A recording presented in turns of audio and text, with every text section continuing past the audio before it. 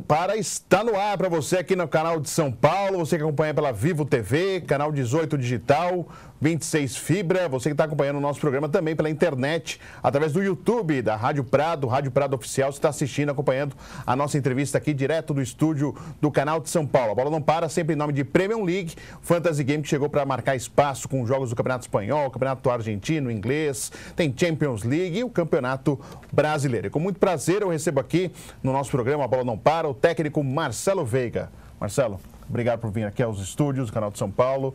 Seja bem-vindo.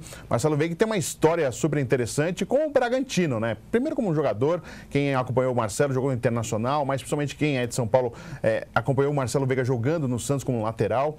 Mas como treinador, essa história com o Bragantino é uma história de é, amor, amor e ódio, a gente pode colocar assim, Marcelo, de idas e vindas. Verdade. 500 jogos como técnico. Prazer recebê-lo aqui, Marcelo. Prazer é todo meu, Fred. Um abraço aos amigos, né? Prazer muito grande estar aqui. Verdade, rapaz. O Bragantino é, é uma história complicada, mas feliz, né? Porque 500 jogos num clube não é fácil, não. Ainda mais um clube no interior, onde a gente teve grandes conquistas. É lógico que, que isso tudo passa por um processo de resultados, né? Porque se você não tem resultado, dificilmente você acaba ficando num clube tanto tempo. Então a confiança e relação que a gente tem aí com o Marquinhos, que é o presidente, é, é ímpar, né? Não tem, não tem nem o que discutir. É, entre indas e vindas. É... Foram quantas passagens, Marcelo? É a sexta passagem. Sexta a minha passagem. sexta passagem pelo clube, 500 jogos pelo Bragantino, três acessos, um título brasileiro. Então, quer dizer, é uma história bem, bem, eu acho que bem bonita, bem contada e espero que eu possa colher mais frutos aí. Tem mais um ano aí pela frente, onde tem Campeonato Paulista, Copa do Brasil e Série, Série B, B de Campeonato volta. Brasileiro que a gente retornou. E a gente vai falar da campanha, mas só tem uma curiosidade, né, para quem está assistindo a gente. Quando a gente vai em Bragança fazer jogo, tem a lanchonete ali do é. Bragantino, né? E tem os sanduíches com os nomes dos jogadores e tal. E tem o sanduíche Marcelo Veiga, não tem? Tem, tem, exatamente. Tem o Marcelo Veiga lá, uma, foi uma homenagem que o pessoal do, do, do Rosário, restaurante que Sim. serve ao clube lá, nos fez e muito feliz de fazer parte dessa. dessa Como que é o seu sanduíche, Marcelo? Meu sanduíche é de linguiça, ovo, presunto, queijo, é muito bom. Vale a pena ir lá conferir. Realmente é, é diferenciado.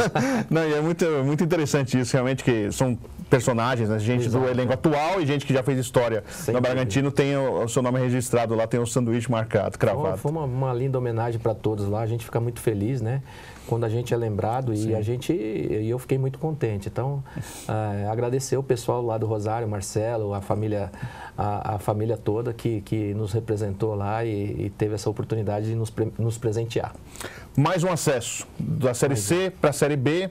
Né, o Bragantino estava mantendo-se na Série B, teve uma queda para a Série C, mas conseguiu já é, voltar para a Série B. E a gente sabe que a Série C é totalmente diferente, né? A visão, né? a forma de jogar, o jeito de se jogar. É, é bem parecido com a B, mas um pouquinho, tecnicamente, um pouquinho mais um pouquinho inferior, a gente pode colocar assim, né, Marcelo? É, é, tecnicamente. Mas assim, a disposição, a luta, a raça que tem que se ter nos jogos na Série C se compara a uma Série B. Mas queria que você falasse um pouquinho desse acesso é, de volta ao Bragantino Série B. É, é, esse trabalho começou ano passado, quando eu retornei para o Bragantino, faltando apenas três rodadas. O clube estava praticamente na Série D do Campeonato Sim. Brasileiro.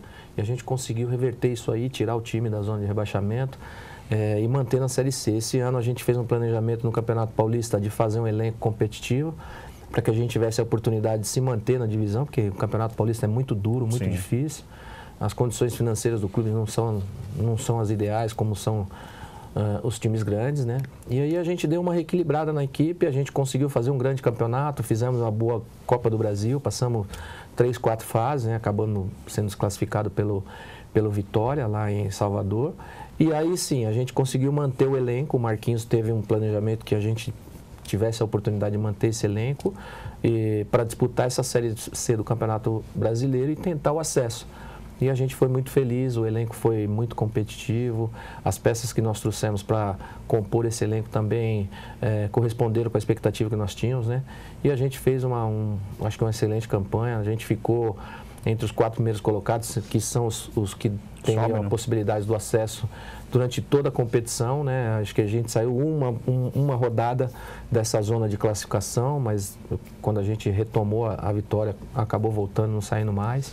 E a gente brigou até o final, teve um, um acesso num, num jogo, dois jogos muito difíceis contra o Náutico, né? Onde Sim. a gente ganhou em casa e foi lá e buscou empate fora, acabou sacramentando o acesso. Tivemos a possibilidade de disputar o título, infelizmente com o erro de arbitragem a gente não chegou ao final, a gente teria a possibilidade de mais uma final de uma Série C.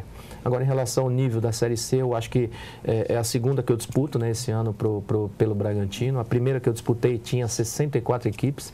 A inchada gente, demais. Né? Inchado né? demais, como é uma Série D hoje, Sim. né? E a gente teve a possibilidade de, de, de chegar ao título. E, e, dessa vez, não, já são 20 equipes, dois grupos de 10, né? Se classificam os quatro primeiros colocados. E e dentro desse trabalho, a gente viu e percebeu que a, a, o nível está muito próximo de uma Série B de Campeonato Brasileiro. Não. Tanto é que eu acho que essa Série C, ela se caminha para que eh, tenha o mesmo formato de competição da Série B, até mesmo pelo nível de, de times que vão... E o clube que subir não vai sentir tanto uma Exato, Série B, né? É, e até mesmo pelo nível. Você vê, ficou de fora Santa Cruz, o Náutico, ABC, é, equipes tradicionais aí que acabaram ficando de fora de um acesso justamente por conta de ser um campeonato muito duro e, e difícil de ser disputado. Além de ser deficitário, né? Isso, Isso é que é a Financeiramente, a Série B com a Série C não dá para comparar, né? Ainda bem que a gente conseguiu acesso, acho que vai dar uma, uma condição diferente para o ano que vem para o Bragantino poder se, é, se estruturar melhor, até porque a Série B ela já dá uma condição de ter uma receita que você pode também pelo menos manter uma base do seu time. E esse é um, um, grande problema, né, Marcelo, desses times que estão na Série B e na Série C.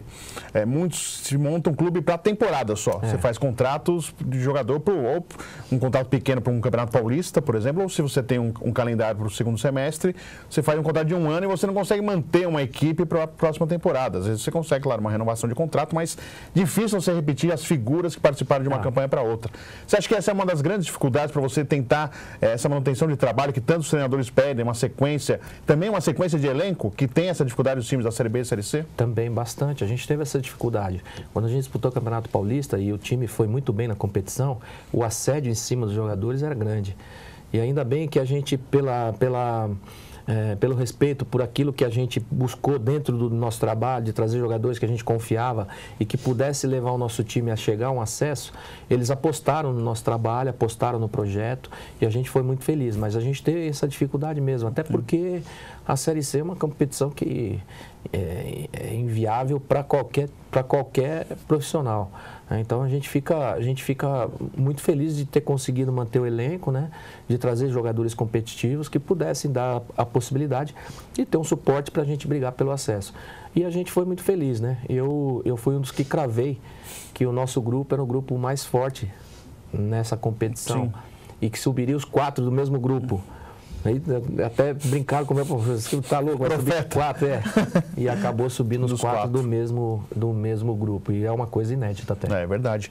Mas até você deve ter percebido até por estudar as equipes o nível Sim. técnico de cada uma, né? Acho que. Sim, é até necessário você estudar, Sim. saber quem que você vai enfrentar é. do outro lado, mas a gente sabe que esse lado de cá são equipes mais estruturadas, Sim. com mais condição, com jogadores mais competitivos. O Norte e né? Nordeste está sofrendo muito, né, Marcelo? Tem uma dificuldade muito grande, né? Principalmente em termos de é, estrutura financeira. Eu não digo nem estrutura do clube, Sim. são clubes grandes que têm é, a, a, condição de oferecer para o profissional um, uma condição de trabalho muito boa.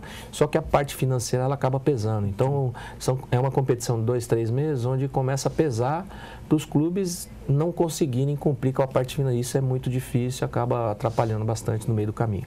A gente sabe que uma relação do técnico com o clube, com o técnico, é, é, tem um desgaste, né? Com o grupo, com, com a torcida, existe o desgaste. Para você, com tantas passagens, 500 jogos essas idas e vindas te ajuda dessa maneira, Marcelo? Esse desgaste que pode ter existido numa passagem, ser um pouco esquecido e ser lembrado somente as coisas boas que você teve no Bragantino, isso te ajuda para essa ida e vinda no Bragantino, por exemplo? Bastante. O Bragantino me deu a possibilidade de eu crescer profissionalmente. É, eu fui estudar, fui para fora também ver como é que funcionava é, as competições, tive a possibilidade de ir para a Espanha, ficar 20 dias lá observando o trabalho. Ajuda equipes. mesmo, Marcelo, Demais. porque tem gente que fala, ah, o cara vai lá passear, tira não. foto e fala que está aprendendo e, e, não é assim. Não. Ajuda mesmo. Tem, você vê uma outra visão mesmo de futebol e você fala, poxa, os caras fazem isso aqui e lá. Porque às vezes tem muita coisa no Brasil, é impraticável se a gente pensar, né? Mas assim, realmente muda, mexe mesmo? Você vem com uma outra visão quando tem essa experiência lá fora? Demais. Eu fiquei 20 dias lá, eu acompanhei Valência, Vídea Real, Levante e Huracan. Tá. São equipes de, da, da primeira, segunda Segundo. e terceira divisão. E todas elas, elas têm a, a, mesma estrutura de trabalho, né? Todas elas têm centro de treinamento, time B, time de base. Então, realmente, é, é, eu vi lá fora o que eu não vi 20 anos no Brasil. Né? E depois tive a possibilidade de ingressar ao, ao curso da CBF, onde eu tive a possibilidade de, de, de, de tirar a licença Pro agora. Fiz Sim. quatro anos esse curso, dois anos de licença A e dois anos de licença Pro. E eu tive a, a felicidade de, de, de melhorar profissionalmente, até porque você se qualificando, você tem uma, uma visão diferente do que você vê. Você vê, eu, eu, eu disse no curso que eu achava que eu achava que pelo, pela, pelas, pelos os acessos que eu tinha, já Sim. tenho quatro acessos, Sim. pelos acessos que eu tinha, pelo título brasileiro que eu tinha com o Bragantino, eu já sabia muita coisa. Na realidade, eu vi coisas muito diferentes do que realmente é a realidade do nosso futebol. Então, assim, é, para mim foi muito bom. O Bragantino me deu uma experiência muito grande profissionalmente, não só pelas vitórias, mas a gente aprende muito mais com as derrotas. Teve alguns momentos que eu saí do Bragantino é, com dificuldades, né? de não conseguir exercer meu trabalho, Sim. até mesmo pela condição que me ofereciam. Mas assim, sempre respeitei o Bragantino, o, Bragantino, o Marquinhos também sempre me respeitou. A gente sempre, todas as vezes que eu saí e voltei, foi sempre para poder ajudar. Sempre peguei o time na dificuldade. Ele tá brigando para não cair, vai lá. E, Bombeiro. É, e graças a Deus, essa última oportunidade que eu tive agora, eu tive a possibilidade de não só é, fazer um trabalho que eu achava que era importante para mim profissionalmente, né, de me recolocar no mercado Sim. de uma maneira diferente, principalmente num clube onde todo mundo fala, pô, só o Bragantino. Foi, já, fui campeão brasileiro Sim, pelo Botafogo, tem uma história, né, né, também. E assim, aliás, o Botafogo, o primeiro, o único título que ele tem é, é sob o meu comando. Então, Sim. fico muito feliz de eu poder desenvolver esse trabalho. E, e, agora, retornando ao Bragantino, eu tenho, é, é, tive essa oportunidade de levar novamente o time à Série B de um Campeonato Brasileiro. Então, espero que, eu, que esse ano que entra agora a gente consiga fazer um planejamento positivo, que a gente tenha a possibilidade de, desse elenco que, que vai permanecer, que a gente tenha uma base muito boa, né, e de trazer jogadores que agreguem a esse grupo e possa fazer um, um, grande ano. A gente vai ao intervalo Premium League aqui no A Bola Não Para, no canal de São Paulo, e já voltamos com mais Marcelo Veiga aqui com a gente no segundo bloco.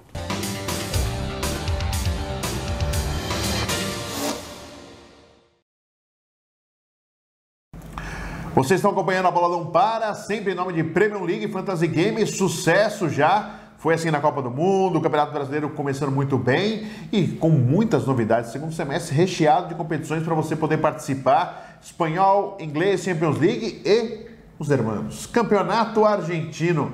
E Rafael, Rafael Pianucci está aqui, um dos sócios do Premier League. Fiquei sabendo, os hermanos estão participando muito do Premier League. Sim, no Campeonato Argentino a gente tem mais usuário argentino do que brasileiro por enquanto. Oh, e, a gente, e, a gente, precisa de dos, dos brasileiros. Dos brasileiros jogando isso para ver que a gente consegue ir melhor que eles, né? É, com certeza. E tem Boca, tem River, Tevez, tem todo grandes mundo nomes Tevez montou um time muito forte para essa temporada, provavelmente é de novo o favorito, mas para esse jogo, nem sempre favorito é o que pontua mais. Né? É verdade. E no Premier League é da mesma forma, mas é uma brincadeira muito legal. A discussão de futebol é diferente com o Premier League. Então, meu amigo, você que já sabe que os hermanos estão aí é, baixando o Premier League, vai lá, baixa também, vai no aplicativo lá no seu celular, baixa lá o aplicativo, brinque, aproveite, ou se não, entra no site www.premiumleague.com.br. Você vai gostar, Campeonato Argentino também no Premier League.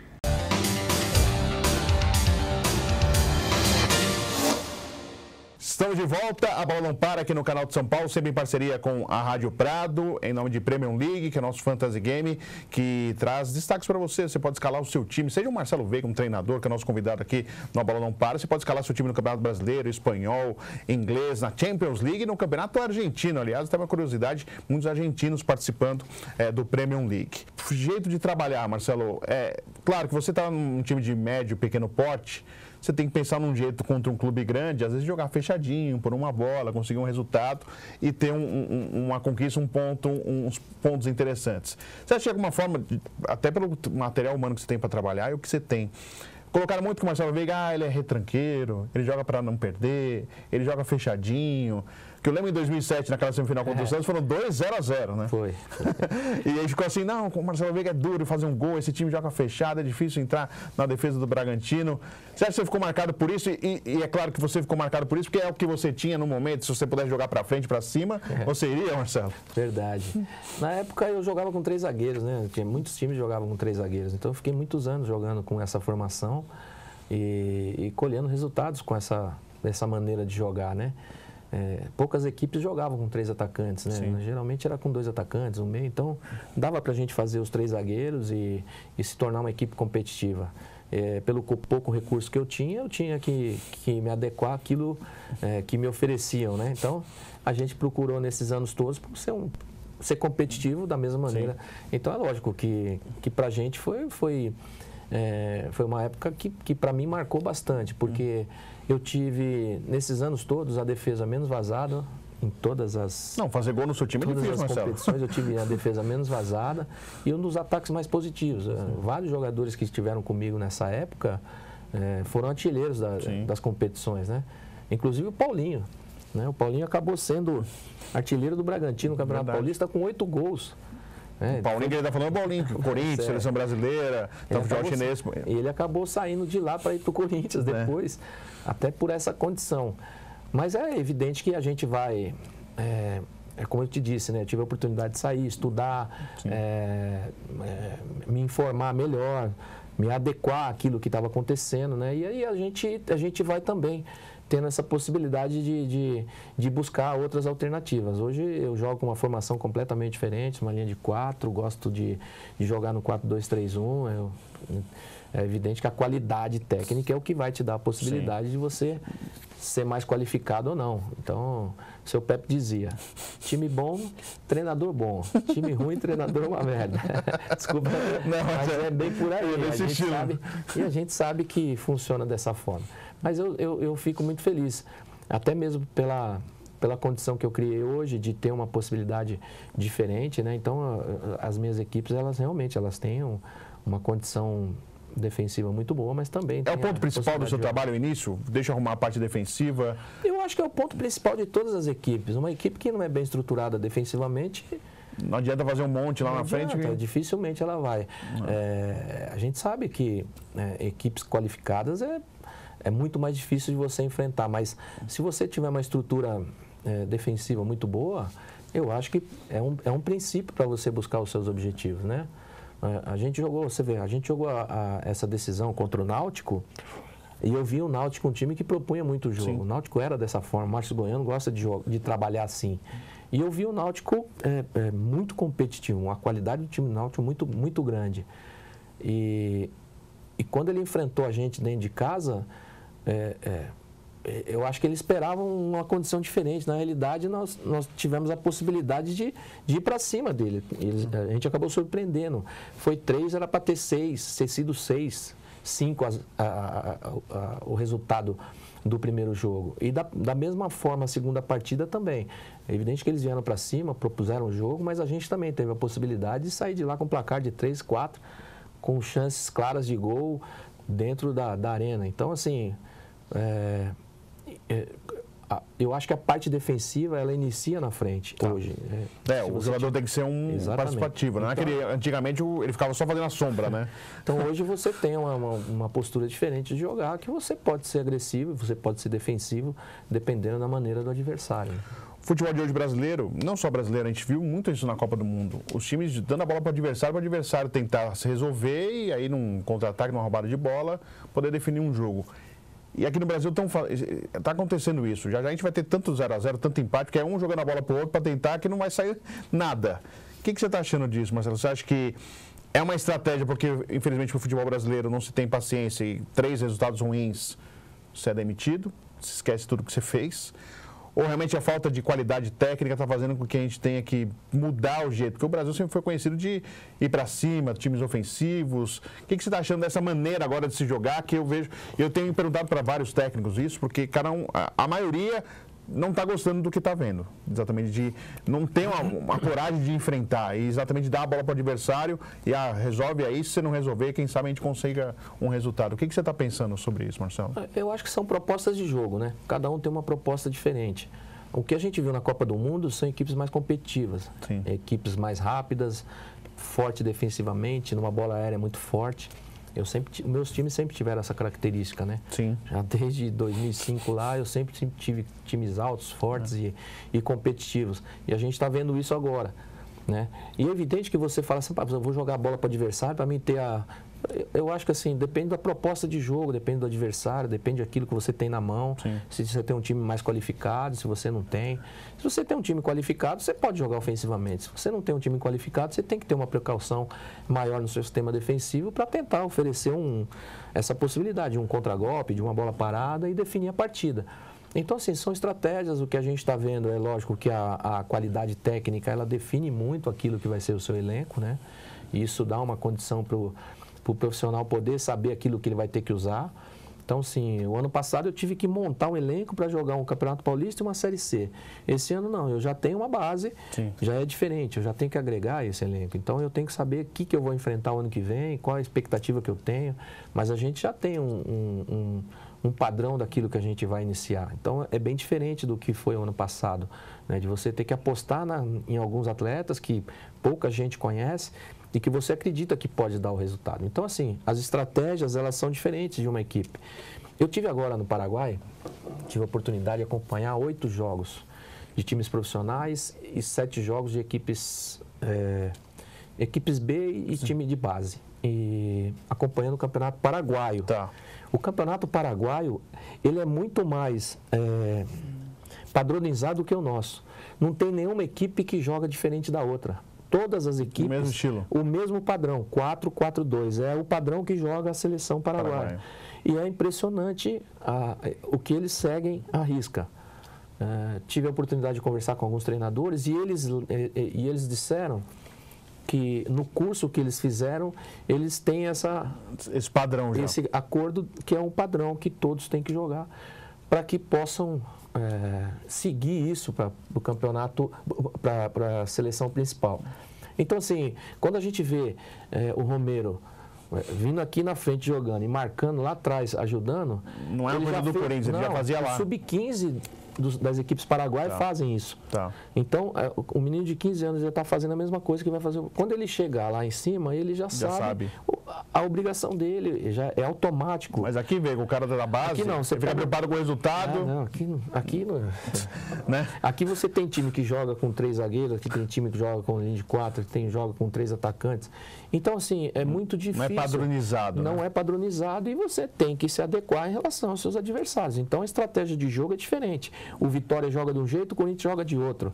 Ah, O Flamengo está jogando de uma, de uma maneira, o, o, o- o Cruzeiro joga de outro. Sim. Então o Grêmio tem um time que propõe, eh, já vai pegar o Palmeiras que já entrou o Filipão, meu filho, fecha a cozinha e vamos jogar. E nós vamos matar o jogo uma hora. Então são, são situações diferentes que a gente encontra aqui no Brasil que a gente tem que se adequar muito é muito difícil você definir um padrão. Sim. Aqui no Brasil eu acho muito difícil.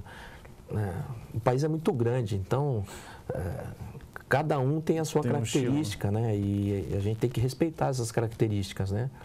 É, mas o que eu vejo é que a, a- a gente teve sim uma crescente, principalmente na parte competitiva, né? Que isso é muito importante para a gente. O que, que você tem achado dessa, desse estilo agora dos clubes brasileiros optarem, quando cai o treinador, vamos pegar o auxiliar técnico, é mais barato. Se der certo, continua. Se não der, a gente vai atrás de um medalhão, um cara mais conhecido. Né, foi feito o Flamengo, o Corinthians deu- o único que deu certo mesmo foi o Corinthians, né? E aí no Carilli que teve duas passagens para dar certo na segunda.